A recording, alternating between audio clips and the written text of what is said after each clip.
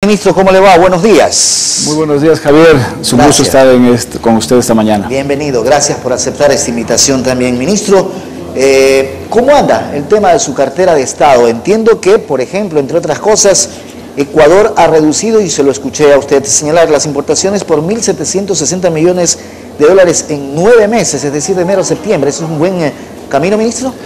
Así es, Javier. Eh, hemos tenido muy buenos resultados en la política de eh, producir más en el Ecuador, porque eso básicamente es lo que buscamos, ¿no? una parte para sustituir importaciones y otra parte para exportar. Eh, realmente ha habido una reacción muy positiva del empresariado ecuatoriano hasta esa iniciativa, así que ha habido buenas inversiones en los sectores de los, en los 14 sectores estratégicos que hemos determinado en el país. Así que eh, estamos, como digo, muy contentos. El día de hoy, aquí mismo en Cuenca, vamos a inaugurar una, una fábrica de bicicletas ya con un componente casi del 70% nacional es decir, ya estamos haciendo hasta los aros aquí en el Ecuador y eso este, tiene una perspectiva enorme porque ya no solo es para el mercado ecuatoriano, sino que ya podemos exportar también a la región andina, Sudamérica, con un componente nacional de esa naturaleza. Hablemos de esa fábrica entonces, ministro, que hoy usted la va a visitar, entiendo, para ver cómo está el proceso. Usted ha señalado que casi el 70% está prácticamente hecho en Ecuador una bicicleta, ¿no? Así es, y, con inversiones que han hecho empresarios cuencanos con, con una muy buena visión. Entonces ahora sí ya podemos decir que tenemos bicicletas ecuatorianas que, vamos a sustituir importaciones que ya nos importarán porque además son de excelente calidad. Así que eh, esos son los esfuerzos que han hecho empresarios cuencanos. Eh, lo mismo después vamos a visitar una nueva fábrica de cocinas de inducción que será la tercera ya en Cuenca, que realmente nos, nos da mucho ánimo a seguir en este, en este afán nuestro de cambiar la matriz energética del país, cambiando gas por energía eléctrica y, también eh, nos, llena de satisfacción que el empresariado haya confiado en esto. Aquí, por ejemplo, también Indurama tiene una cadena de producción muy importante que incluso ya se van a, producir también aquí en Tarpuk las tarjetas para las cocinas de inducción, que eso también nos permitirá ya también tener un sobre el 50% de componente nacional y también para poder exportar. Usted sabe que Colombia ya está también, me parece que en dos departamentos también cambiando a inducción. Así que hay un mercado enorme. Así que mire usted, en, Quito también se están haciendo lo mismo, en, Guayaquil hay empresas, en Quito de Casa, en, Guayaquil Mave, que están produciendo también ya las cocinas en forma importante. Lo que significa entonces, ministro, que este cambio de la matriz, en este caso energética y también el matriz, la matriz de la eh, productiva, eh, se están logrando los objetivos que en los ministerios eh, correspondientes, en el suyo propio, eh, se propusieron, ministro? Por supuesto que sí, estamos logrando, todavía falta obviamente mucho, pero estamos en el camino correcto, eso es lo, importante.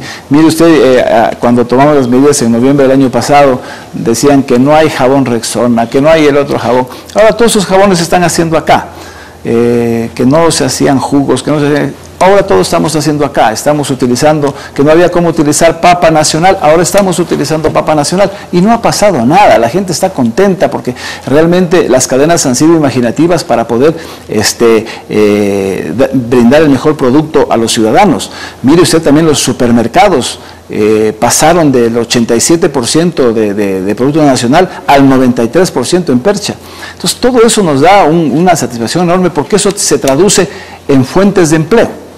Hay más ecuatorianos empleados eh, y eso nos satisface mucho porque esa es una de las eh, prioridades del régimen generar empleo. Ministro, otra inquietud, y, no sé si usted tenga conocimiento, me imagino que sí, pero eh, es que también eh, el, régimen está tratando de preparar un proyecto para reemplazar calefones a gas. También, sí, por supuesto que sí. La idea es que dejemos de consumir el gas en, la medida de lo posible en la mayoría de los hogares. O sea, no solamente son las cocinas de gas a cocinas de inducción, sino también el tema de los calefones. Por supuesto, ya hemos eh, bajado los aranceles de los calefones eléctricos, así que se pueden importar sin ningún problema y hay dos fábricas también que se están instalando en el país, pero mientras eso pasa vamos a, poder importar ya los calefones y las duchas eléctricas a cero, a cero de gravamen. Debo decirle que no es tan, el impacto no es tan grande como en las cocinas. El 93% de los hogares cocinan con gas.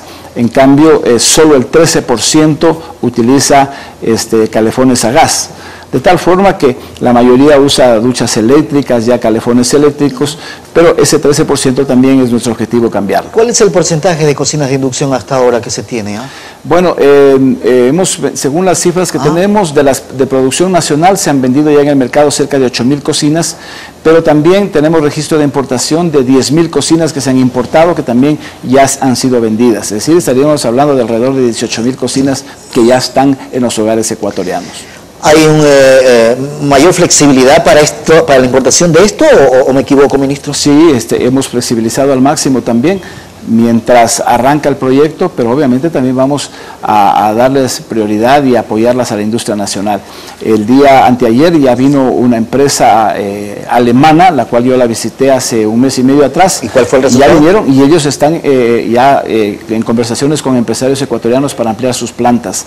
De tal forma que, mire, esa es una nueva inversión que se va a hacer en el Ecuador de, por parte de la, de la empresa Ego alemana y, también esta tarde me reuní aquí en Cuenca mismo con empresarios franceses que están ya en, Cuenca para hacer ya la, vitrocerámica, es decir, el vidrio de la cocina también se lo va a hacer acá en Cuenca. Entonces, mire usted, eh, realmente hay eh, un una confianza del empresariado ecuatoriano en las políticas industriales del régimen y eso nos, nos, alegra mucho porque de eso se trataba, de que nos perdamos el miedo, el recelo y que comenzamos a producir en serio ya las cosas que el país nos puede hacer. ¿Ha habido ese cambio entonces hasta de mentalidad, ministro, de decir yo puedo hacer en el Ecuador tal cosa? Por supuesto, mire, eh, tenemos un, un, sector empresarial muy dinámico en este momento, eh, los, el empresariado cuencano, un, un sector muy emprendedor, pero en general en el país tenemos realmente ahora una nueva camada de empresarios de altísimo quilates que realmente están viendo la posibilidad no solo de captar el mercado interno, sino sobre todo el internacional. Estamos a puertas de, entrar a 27 eh, mercados en la Unión Europea y obviamente tenemos que prepararnos tanto en la calidad como en la cantidad de productos que se van a exportar a esos mercados. Esto refleja, ministro, que usted ha establecido una política de acercamiento al sector privado entonces. Por supuesto, el cambio de la matriz productiva tiene que hacerlo el sector privado nos hemos acercado también a los municipios, porque también a los consejos provinciales, porque también ellos son parte del cambio de la matriz productiva, tienen que haber eh, los, los eh, espacios en las ciudades para poner las industrias. Mire, Cuenca mismo tiene un problema serio de que ya no tiene dónde crecer. En el parque industrial de Cuenca están creciendo para arriba y eso obviamente encarece costos significativamente. Entonces, con las autoridades locales estamos también hablando para ver dónde se pone un parque industrial, lo mismo en Ambato, lo mismo en Manta, en Riobamba. Se está trabajando ya en eso. Quito, que también estamos en un problema serio de, colocación de industrias. Así que esto del cambio de la matriz productiva es, eh, es un, un gran acuerdo nacional de todas las partes para poder sacar adelante la industria. ¿Se le ha dado un giro entonces a lo que se estableció en su momento por parte del Ministerio?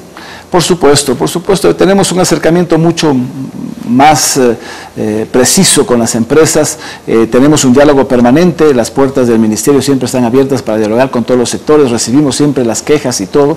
Y ahora, por ejemplo, ayer nos hemos reunido en el Ministerio Coordinador de la Producción, nos hemos reunido con el nuevo director de ARSA para eliminar todos esos trámites de los registros sanitarios y todo. Hay países que no tienen registros sanitarios, sino que el control se lo hace posterior en percha.